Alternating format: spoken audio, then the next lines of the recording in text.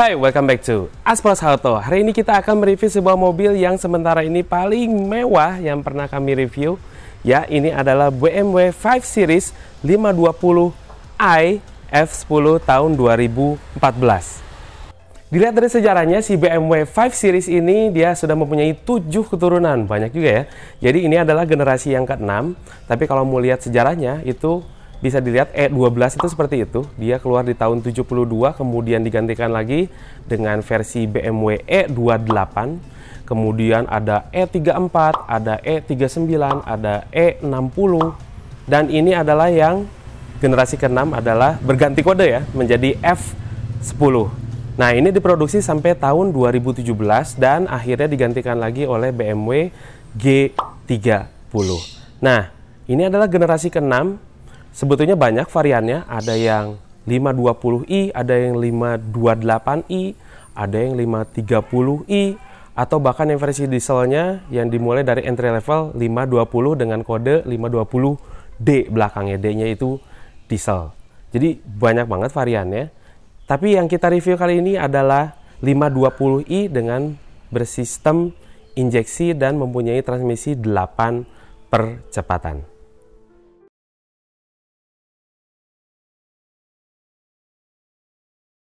Sekarang kita akan membedah apa saja di eksteriornya yang menarik dari BMW 520 F10 ini dan interiornya. Tapi untuk mempersingkat waktu biasanya kalau Aspros itu lama banget pasti durasinya. Sekarang ditemani oleh Mas Wika dari channel Satwika 18. Halo. Sekarang bagian dia ya untuk in-depth tour si 520 F10 ini. Kalau Aspros bagian test drive.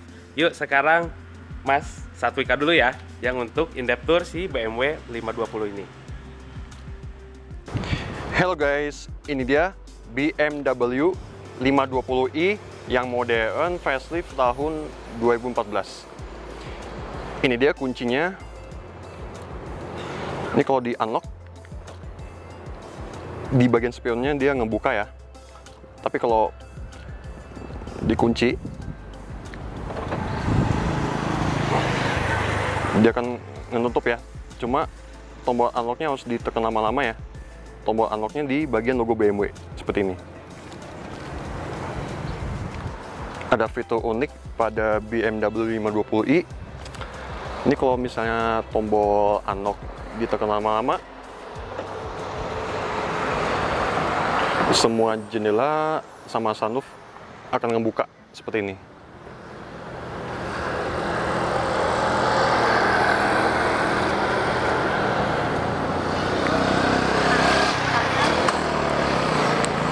kalau mau menutup secara serentak ada tombol unlocknya. Dan ditekan lama-lama ya seperti ini.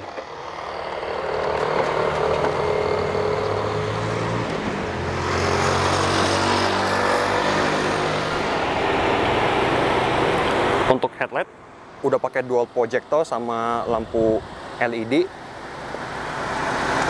ada pencuci lampu sama sensor parkir depan sebanyak 4 titik ya. Ini dia bentuk grillnya. Di bawahnya ada fog lamp dengan lampu LED.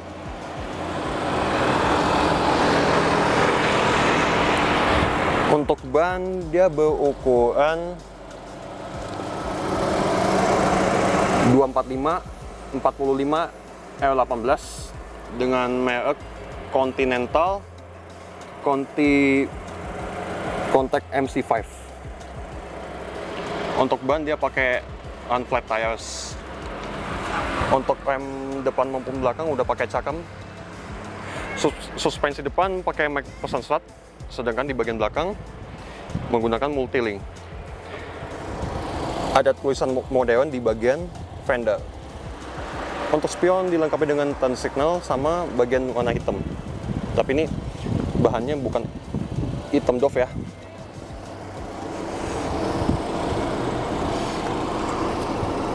ada chrome yang mengelilingi kaca samping. Seperti ini. Untuk door handle ada garis chrome nya di keempat pintu.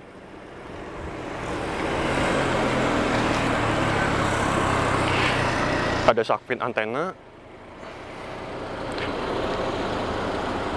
Ini dia samping kanannya.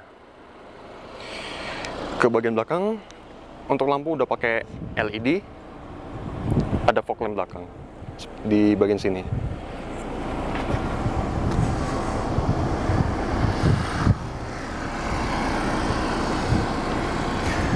Ada sensor pakai belakang 4 titik.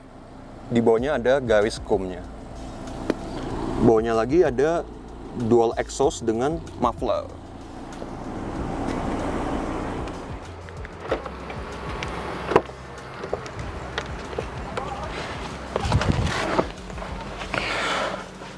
injak pedal rem kemudian tekan tombol engine start stop.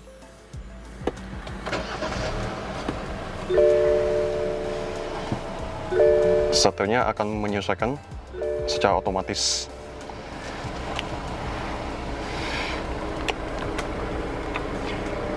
Nyalakan lampu utama fog lamp depan belakang. Untuk lampu udah dilengkapi dengan auto headlight. Lampu hazard ini dia bentuk dotennya soft touch semua ya. Ini sampai bawah juga soft touch. Ada penyimpanan ada memory setting ada speaker.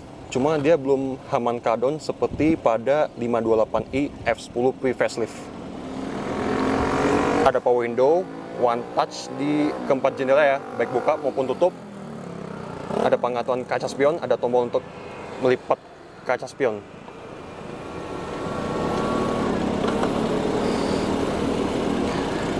ada pengunci jendela sama untuk sama tirai belakang ya.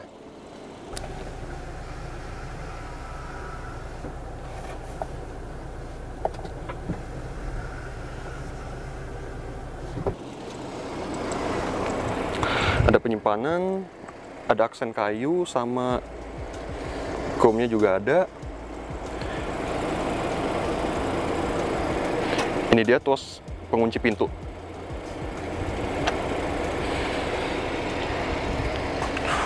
Untuk jok udah pakai kulit ya. Ada airbag di bagian kursinya. Ada pengaturan reclining sliding head adjuster secara elektrik ya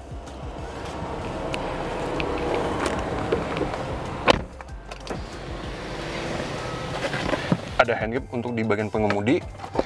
Set vesel kanan dilengkapi dengan cermin dan lampunya. Ada mikrofon juga. Ada airbag di bagian pilar A baik di kanan maupun di kiri. Ada pengaturan untuk membuka sunroof. Di one touch ya baik buka maupun tutup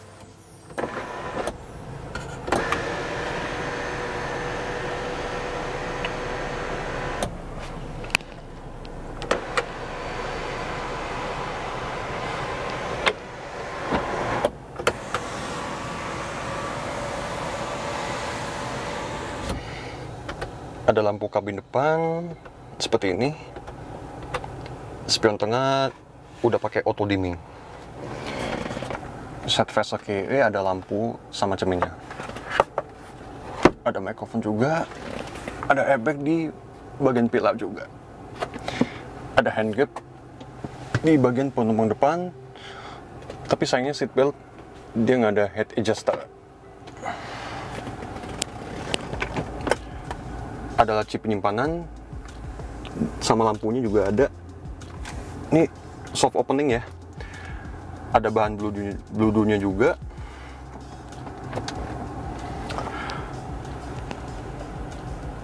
Ini dia bentuk dashboardnya. Ada foot panelnya juga. Ada iDrive nya juga. Ada tombol untuk kunci pintu ada tombol hazard. Ada tombol auto start stop ya. Jadi kalau misalnya di kemacetan mesinnya bisa mati secara otomatis. Ada tempat CD-nya ada channel radio ada volume juga. Ada mode FMRM sama mode yang lainnya juga seperti ini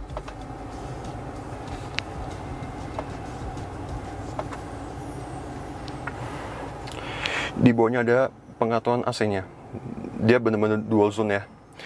Pengaturan kecepatan juga terpisah ya masing-masing. Pengaturan suhu juga zona AC juga. Ada mode AC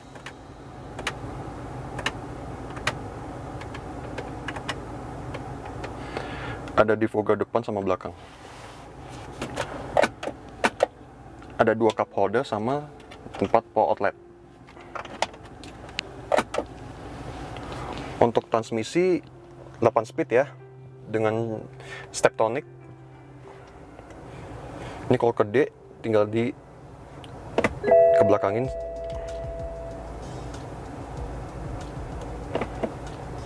Harus pakai unlock tapi. Ini kalau ke N tinggal ke depan kayak gini. Tapi kalau ke L harus tekan tombol unlock seperti ini. Terus di kedepanin ini dia. Ada sensornya juga di sini walaupun belum pakai kamera mode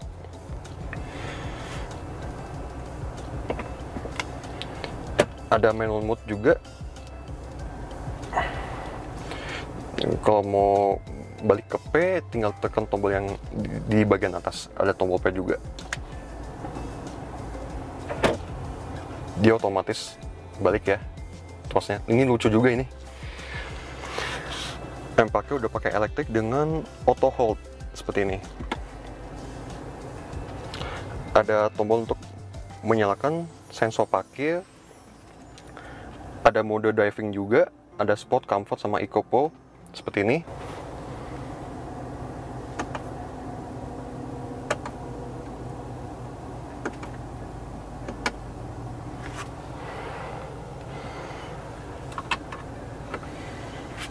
tombol untuk mematikan stability control seperti ini.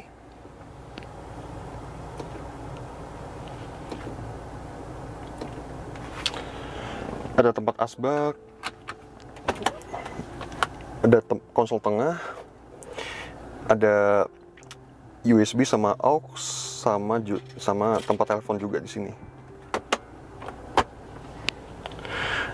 Ada pengaturan untuk mengatur iDrive-nya BMW ada back option ada tombol untuk muterin seperti ini. Ada media, radio, menu, telepon sama navigasi. Lengkap ya. Untuk stereo tiga palang ya.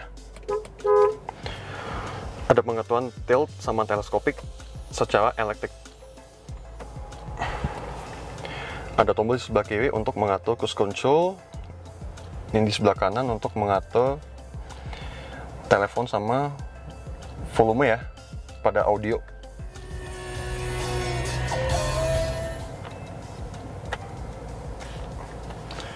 Ada tombol ada pengaturan channel radio ya seperti ini. Ada mode juga.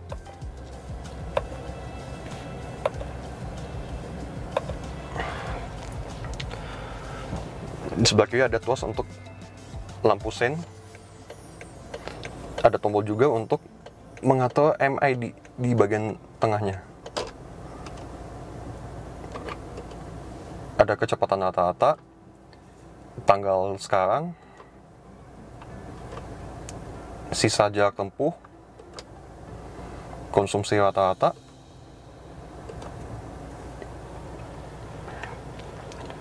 Sebelah kanan ada pengaturan wiper dengan auto wiper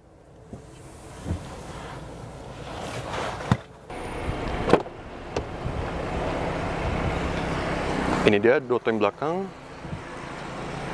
Ada aksen kayu sama chrome-nya ini juga soft touch. Ada penyimpanan. Ada tempat asbak.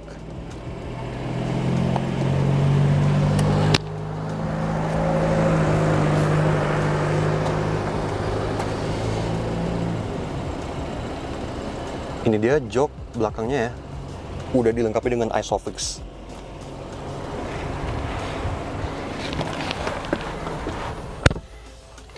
Ada penyimpanan pocket di kedua sisi, ada AC belakang, ada penyimpanan juga, sama yang di bawahnya lagi ada power outlet. Ini dia bentuk dashboard kalau dilihat dari belakang. Ada lampu kabin untuk di belakang.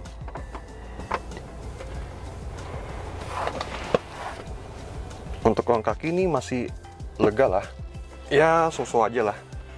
Untuk ukuran 5 series. Kalau ruang kepala ini juga masih ada sisa. Ada headrest juga di ketiga kursi belakang. Ini bisa diatur ya seperti ini. Diputar kayak gini bisa. Cuma di bagian tengahnya. Tapi kalau di kiri maupun di kanan, dia model biasa aja ya. Di belakangnya ada top tether, ada armrest dengan penyimpanan dan dua buah cup holder.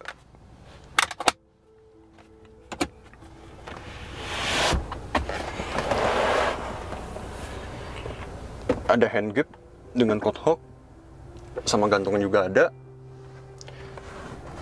Ada tempat asbak juga.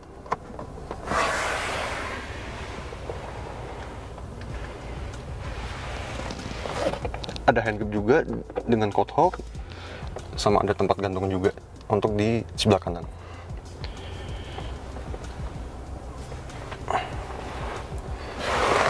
Di bagian belakang ada tirai ya. Ini kalau mau menutup atau ngebuka ada tombol di bagian panel power window. Ini dia bagasinya luas banget ya. Di bawahnya ada penyimpanan nggak ada ban cadangan karena dia pakai unflat tires sebelah kanan ada penyimpanan. Di bagian atas ada tempat untuk menyimpan P3K maksudnya peralatannya seperti ini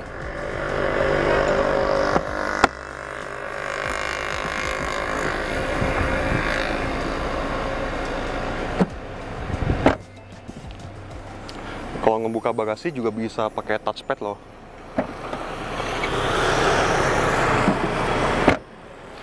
atau juga bisa pakai kunci ada tombol yang untuk membuka bagasi seperti ini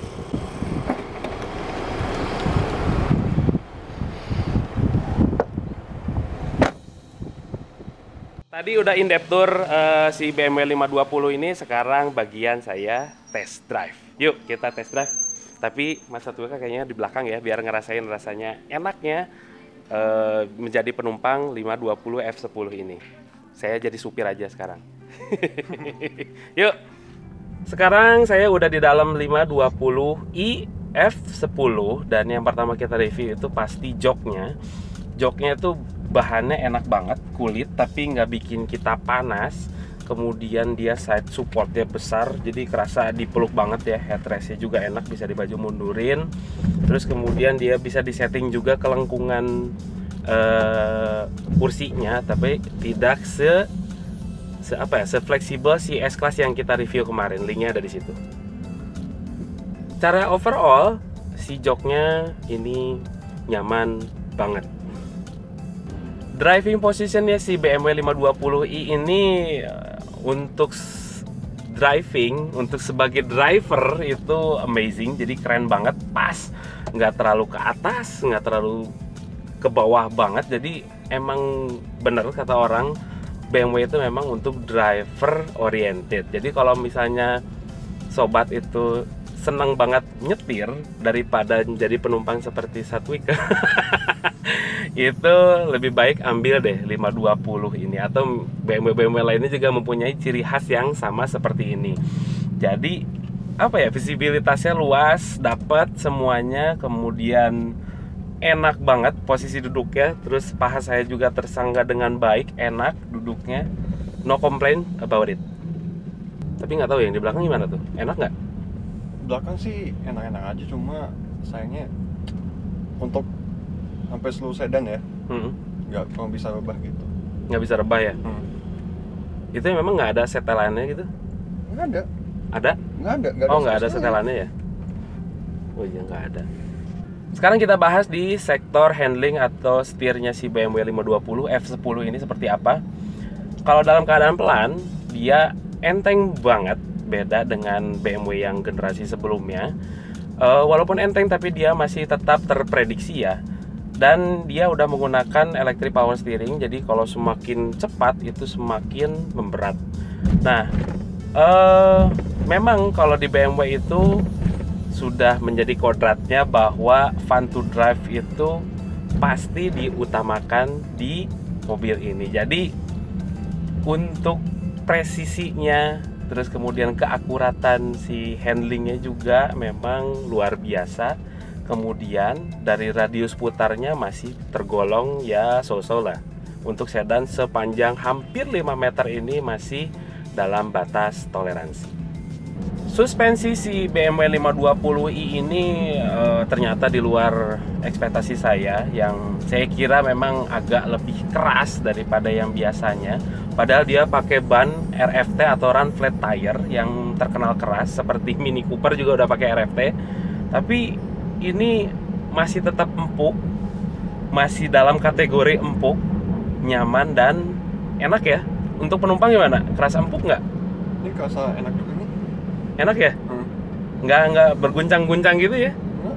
padahal dia bahannya RFT loh amazing ya ternyata di luar ekspektasi loh ini sekarang kita bahas di sektor mesinnya si BMW 520i F10 ini yang udah facelift ini dia pakai kode mesin N20B20 ya? Iya, betul. Ya. N20B20 kapasitasnya berapa? Mas itu kan? 2,0 liter. 2000 cc ya. 2000 cc Panos 4 silinder 16 katup nah, twin power turbo cuman jangan disalah artikan bukan twin turbo ya kalau di sini jadi dia single turbo dia dipanggil twin power turbo cuman karena ada perbedaan di sistem injeksinya jadi injeksinya tuh ditingkatkan lagi oleh BMW supaya tenaganya semakin besar dan semakin irit. Jadi walaupun tenaga besar tapi irit gitu ya. Dia mempunyai tenaga itu 120 181 horsepower dengan uh, torsinya sekitar berapa tadi? 270 270 newton meter. Rasanya tuh seperti apa? Ini dalam mode comfort, eco comfort aja dia ngejambak banget. Rasanya apalagi di mode sport. Hmm, galak banget ini mesinnya. Nanti kita coba di akselerasinya si 520 ini ya. Sekarang kita ke transmisinya si BMW 520 ini. Dia menggunakan transmisi automatic Steptronic ya. Dia 8 speed. Jadi kelihatan ya banyak banget giginya. Kalau semakin banyak giginya kan semakin bagus ya. Kalau senyum tuh kayak gini. Jadi semakin banyak giginya itu menunjukkan bahwa dia akan semakin irit dalam dan semakin efisien dalam penggunaan bahan bakar. Nanti kita cek juga eh, bahan bakarnya sampai seirit apa si 520 ini. Oh ya, si transmisinya itu mempunyai karena 8 speed jadi rasio giginya tuh pendek-pendek dan eh, perpindahan giginya nggak kerasa ya. Tanya deh sama Mas Wika, kerasa nggak perpindahan gigi? Nah, kerasa, Pak. Hah? Kerasa kerasa tapi nggak kerasa nggak nggak terlalu kerasa, kerasa. kalau memang kalau lagi dibejak banget baru kerasa ya tapi kalau kita pelan gitu itu sangat-sangat smooth Sistem pengereman si BMW 520 iF10 ini sangat lengkap pengeremannya. Ada ABS, ada EBD, ada BA, cuman berbeda nama ya. Itu kan macam-macam ya tiap mobil juga punya teknologi yang membedakan dengan mobil yang lainnya. Nah, yang dirasakan di sini sistem pengeremannya itu sangat-sangat mumpuni untuk menghentikan laju si mesinnya yang mempunyai tenaga besar. Yang depan sudah cakram, yang belakang juga cakram dan super besar size-nya. Jadi ini sangat-sangat pakem. Kita mau coba rem di sini, mudah-mudahan Mas Wika loncat ke depan. oh enggak. pakai nggak pakai nggak pakai nggak pakai ini ya nggak pakai seat belt nggak pakai seat belt tuh iya enggak tapi kok nggak ngacelin ke depan gitu ya sedikit lah hebat ya BMW ya walaupun kita merem mendadak juga tidak membuat penumpang belakang mencelat ke depan gitu ini paling nggak udah nggak pakai seat belt tapi Oke aja sih. Enak ya jadi penumpang ya, nanti gantian ya. Konsumsi bahan bakar eh, BMW 520i ini walaupun katanya diklaim lebih irit tapi menurut kami sih masih tetap-tetap aja eh, untuk kelas luxury sedan ya 2000 cc tadi harus minimal round berapa? 95 Round 95 yang artinya setara dengan Pertamax Turbo. Plus. Pertamax Plus ya? Plus kalau turbo 98. 98 ya? Nah Pertamax Plus berarti. Nah jadi menurut MID itu untuk 1 liter bahan bakar bisa mencapai 7 km sampai 8 km tapi kalau di luar kota itu agak-agak jauh karena memang rasio giginya juga rapat-rapat gitu ya jadi dan dia menghasilkan yang rendah pada kecepatan tinggi jadi dia lebih irit 1 liter bahan bakar bisa menempuh 11 sampai 12 km. Kekedapan kabin si BMW 520i ini setara dengan yang saya rasakan itu dengan Fortuner ya. Jadi lebih kedap lagi sedikit daripada Fortuner karena suara bannya masuk ke dalam ya. Kemudian dari luar itu eh, insulasi kabinnya memang baik banget, terbilang sangat baik. Satu sih masalahnya cuman di suara ban yang agak-agak bising ya. Itu aja sih. Lebih bising ketimbang mesin. Jadi Ah, kalau ah. mobil Jepang kan mesinnya yang lebih kerasa. Mm-mm. Itu sih. Tapi overall kekedapan kabinnya good. Oke, sekarang kita akan melakukan akselerasi 0 sampai 100 seperti apa dan Mas Wika di belakang. udah siap-siap. Oke, keadaan udah kondusif.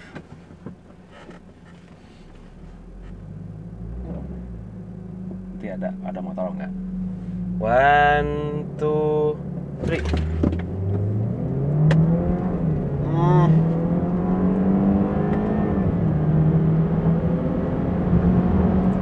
Wow, berapa detik tuh? Udah sampai 100 ya? Udah, nggak kerasa ya. Gila, mau lagi? boleh, boleh, boleh, boleh. Dia kecanduan dia.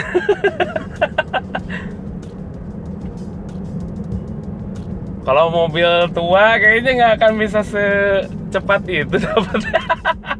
Ini kayaknya berapa Mobil detik dong? dulu tapi E36 gimana? Oh ya, E36 boleh, boleh, boleh, boleh. Ampun, ampun.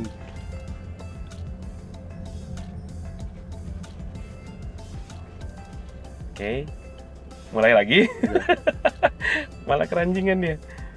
Oke, kita mulai lagi. Berapa detik nih? Beda nggak sama yang tadi? Eh, sorry. Pakai apa ini?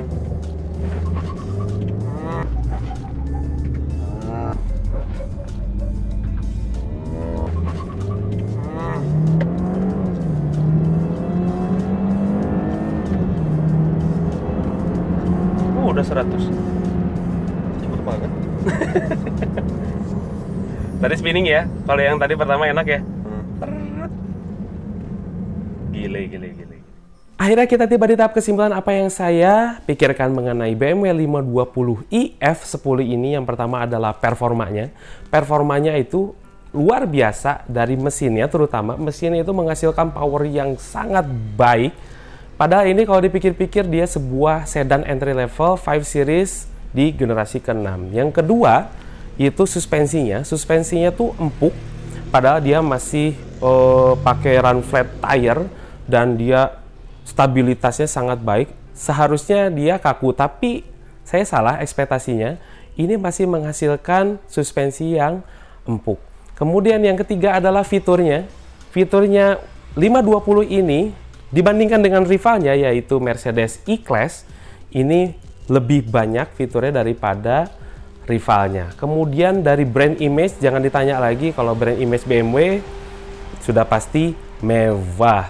Dan ini adalah sebuah informasi yang mungkin berguna untuk sobat bahwa harga bekasnya BMW 5 Series F10 yang sudah facelift ini dia mempunyai range antara 490 juta sampai 525 juta dengan line modern.